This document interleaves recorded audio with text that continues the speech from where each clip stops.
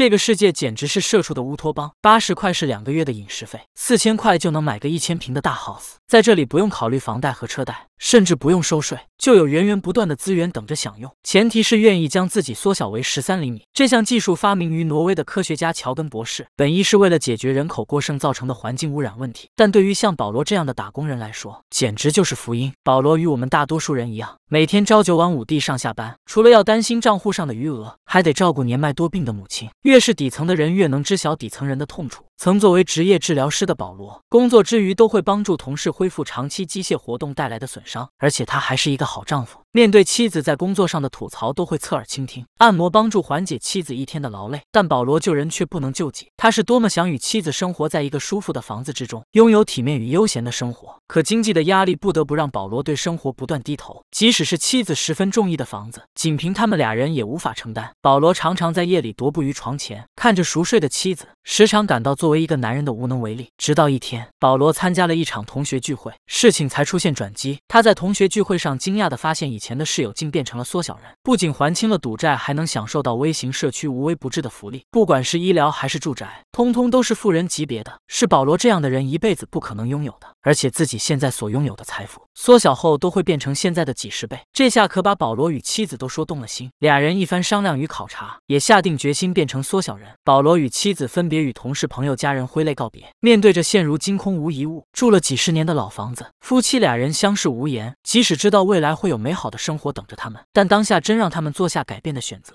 心中依然还是恋恋不舍过去的人事物。转眼改变命运的一天终于到来，夫妻二人来到了研究所，在处理完一切术前。事宜之后，俩人相拥告别，分别进入了不同的大厅。保罗与一众人员被护士剃光了毛发，将口腔中种植过带有金属的假牙拔出，以防人类缩小后被无法变小的金属爆头。一切准备就绪，所有人被关进了实验舱。随着工作人员将开关拉下，不到一会儿，一个一个光着身子、只有手指大小的人就诞生了。五个小时之后，保罗缓缓从昏迷中醒了过来。第一件事就是向护士询问妻子的状况，可只等来妻子的一通电话。原来妻子因为无法抛下自己的朋友与家。人刚剃完了头发和半截眉毛，就中途放弃了。而此刻的保罗只感觉天旋地转，根本无法抑制自己愤怒的情绪，对着电话那头的妻子大声吼叫，但也无法改变妻子选择离保罗而去的决心。一年之后，俩人也正式离婚，保罗也倍感绝望，日子过得暗淡无光，每晚在空荡的房子里借酒消愁，即使坐拥豪宅也毫无意义。在室友的建议下，保罗与单身母亲开始约会，试图用新的关系来消减过去的伤痛，但俩人的谈话却只是有开头没结尾，东一句西一。句的尬聊着，甚至临走之前还被送了好人卡。落寞至极的保罗想起这几天刚搬来的新邻居老杜，他是一个将正常人类世界的奢侈品走私到微型社区卖给穷人的商人，每天晚上都邀请一票好友夜夜笙歌，好不快活。保罗耐不住心中的孤独，捧着没有送出的大玫瑰上门拜访这位潇洒的新邻居。显然，老杜对于自己底下邻居的拜访感到很是欢迎，甚至将保罗介绍给自己的好友老船长，并要求保罗留下来好好放松一下。保罗站在随着音乐不断摇曳的人群。中间，在霓虹灯光不断的照耀下，显得是那么的手足无措。一个人孤独许久，突然面对这样狂欢的氛围，难免会顿感不安。这时，一个吉普赛女子向前向保罗搭讪，女子没说一字一句，掏出手中的小药丸含到嘴里，示意保罗吃下去。保罗心里清楚这东西是什么，但现在的他也什么都不管了，快乐最重要。当即就和女子舌吻在一起，经历了迷幻的一夜。等再次醒来，已经是日上三竿。恍惚间，从眼缝中看到一个亚裔女人一瘸一拐的走进屋里清理垃圾。这时，保罗想起之前看过的新闻，她名叫小兰，是从越南准备偷渡到美国的非法移民。之前因为抗议政府为修水坝强拆村庄的行径，在监狱中被迫缩小了身体，但却因为过程感染小腿，惨遭截肢。现在只能靠着给富人清洁房屋，才够勉强生活。得知小兰悲惨遭遇的保罗，同情心开始泛滥。作为职业治疗师的本能，保罗看得出小兰因为不合适的假肢，膝盖和臀部遭受了太多的负担与损害，建议她进行一些恢复训练。但小兰却另有所思。强行拿着他去给自己的一个朋友看病，架不住小兰的执着。即使不是真正医生的保罗，还是无奈跟了过去。一路上，他们周转了各种交通工具，直到公交车开到了社区的最角落，保罗这才惊讶的发现，即使是向外界宣传的乌托邦，实际上还依然存在贫民窟。他们没有富人的豪宅，只能住在如城中村一样破旧的隔间当中。保罗自己曾经也是底层，但至少还有点积蓄。变为缩小人之后，依然还算活得富足。可这里之前比他还穷的人，缩小之后依然的过着不见光明。的日子，保罗来到小兰的房中，看到了他病重的朋友。保罗表示这并不是我的专业方向，可还是硬着头皮给他吃了几颗止疼片。随后，保罗为了让小兰身体恢复正常，开始帮他修理起了假肢。可没动两下，假肢就被弄得支离破碎，零件乱窜。保罗意识到自己搞砸了，但做好一条新假肢至少得一个月。小兰对着保罗骂骂咧咧，要求保罗在自己的新假肢没到货前都得骑着它，让他代替自己上班。老好人的保罗十分无奈，只好负责小兰生活的方方面面。上班接她干活他来，给老人送饭他送，哪怕是上教堂堂也得一块陪着。这样的生活一直延续了俩周。老杜看着上门给自己打扫房屋的保罗，笑出了声。保罗表示这段时间自己对小兰又当爹又当妈的，简直快要发疯了。看着邻居如此痛苦。老杜决定帮他一把，伙同自己老友船长打算给小兰设个局，谎称他们收到挪威那边微型社区的请求，给那里带一大批货物，但现在他的人手不够，需要拉上保罗一同前往挪威。小兰听完没有丝毫犹豫，就决定一同前往。老杜连忙挥手拒绝，说他在这边还有工作与社区服务的完成。但小兰十分轻松地表示，自己的同事能给自己代班，最重要的是自己曾多次受挪威那边的信件邀请，来信者不是别人，正是发明缩小技术的乔根博士。他对于小兰因为自己技术而遭受的苦难而深感抱歉。讲到情深处，小兰不禁落下了眼泪。见这番情景，保罗三人面面相觑，也不好意思再多做拒绝。几人就这样踏上了前往挪威的旅程。一路上山清水秀，清风拂面。好一番惬意的时光，可一天晚上，保罗在睡梦中被甲板上的动静给惊醒。透过窗户一看，俩个人乘坐着小船登了上来。等到第二天一早，保罗惊奇地发现，昨晚那俩人居然是乔根夫妇。但能从他俩忧愁的脸上看出，似乎发生了什么不得了的事情。很快，博士也向众人传递了这个消息：原来南极发生了甲烷泄漏。来自世界各地最顶尖的科学家经过数轮的模型计算，得出一个统一的结论：人类必将面临因环境破坏、空气污染造成的世界末日。即使他们计划。怎样的努力都无法避免这场灭顶之灾。得知这个消息的众人，并没有过多的恐慌。保罗与小兰站在昏暗的甲板上，望着死寂的湖面，很快就接受了人类要灭亡的命运。但作为普通人的他们又能怎样？看着小兰蹒跚的脚步，保罗打算给小兰再检查一下小腿。在狭小的房间中，保罗十分温柔地给小兰进行按摩。经过这么多天形影不离地相伴，小兰对保罗的感情似乎不再那么简单，眼神中也开始含情脉脉，逐渐迷离起来。保罗察觉到小兰的表情，也抑制不住。自己的内心，与她一起共赴巫山。天亮之后，船只也抵达了挪威社区。乘坐着马车，他们一路感受着最自然的景观与生态，数次被眼前的壮丽风景给震撼。要是世间所有的纯真都保留在此，该多好！保罗一行人收到了村民热烈的接待，连村长都上去拥抱众人，还邀请他们去参加自己的一项大工程。原来村长早就带人修缮了一处地下基地，里面资源自给自足，不仅物种丰富，能源来自地热，坚硬的外壳也足以保障缩小人几十代人的安全与生存。等。几千年过后，足以等外界的环境自我进化，那时人类的后代再返回地面生存。明天，村长与博士就会带着村民进入地底世界。得知这一消息的保罗欣喜若狂，这简直是延续人类文明的唯一方式。他希望小兰与自己一样加入他们，为了整个人类文明。可小兰与老杜等人却认为这是一个疯狂的举动，这样的计划根本无法确实保障人类文明幸存。无论他们怎样的劝阻，都不能改变保罗的主意。等到了送别的那天，保罗与众人一一告别，小兰向他送出了自己的圣经。那是他的信仰和执念，希望保罗能将这份信念一同带到地下。即使保罗对大家依依不舍，可终还是踏上了最后一步。在通往地底的通道中，保罗回忆起过去的种种过往：仗义的老杜，侃侃而谈的船长，贫民窟里其乐融融的大家，还有夕阳下与自己相视无言的小兰。此刻，保罗与自己前妻一样，放弃了这个改变命运的机会。他无所顾忌地跑回外面，选择当下他最爱的亲人们。保罗与小兰热情相拥，对他说出了久违的三个字：比起心系整个世界，现在关心我们。身边实实在在的人，才更能让我们普通人更直观的感受生活。只要是与自己在乎的人在一起，哪怕面对世界末日，也毫不畏惧。